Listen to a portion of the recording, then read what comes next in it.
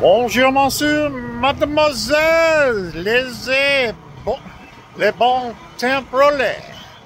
That's right, ladies and gentlemen, let the good times roll.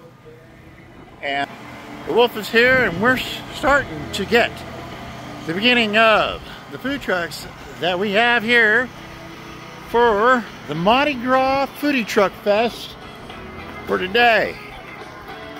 I got some pictures I'll show you in a few that'll be attached. We got outside music, we have entertainment showing up. Got a bouncy house for the kids. Looks to be like quite a shindig. Remember, this is all happening down here at the Mardi Gras Foodie Festival at 1595 East Joy Lane. Come on down, Fort Mojave Way. See us here at the new Mojave Trading Post.